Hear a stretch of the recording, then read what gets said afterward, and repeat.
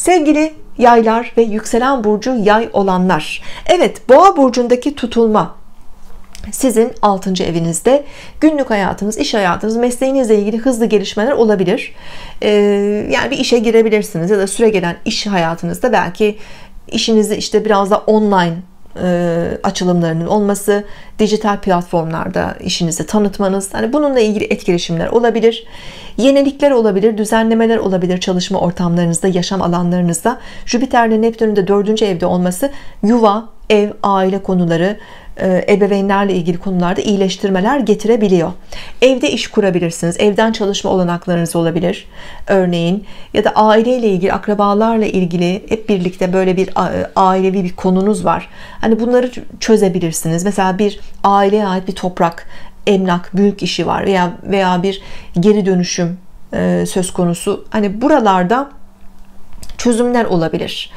E, artık yani tıkanık bir şeyler açılabilir ve sizin de lehinize gelişebilecek e, gelişmeler olabilir. Emlak almak istiyorsunuz, ev almak istiyorsunuz ve bununla ilgili yine adımlar atabilirsiniz.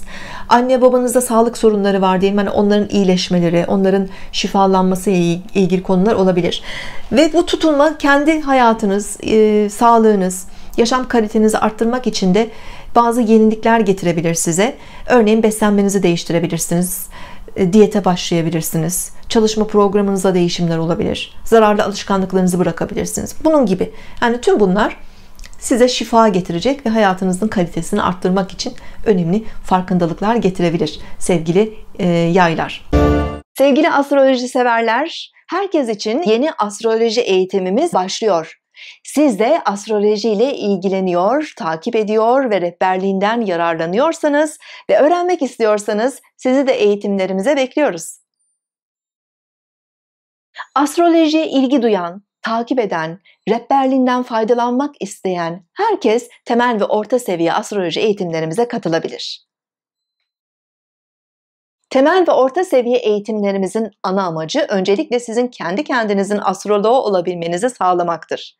Eğitimlerimiz boyunca doğum haritanız üzerinde birebir çalışmalar yapılacağı için bu eğitimi tamamladığınızda doğum haritanızın tüm detaylarını, potansiyellerinizi ve yaşam amacınızı da öğrenmiş olacaksınız.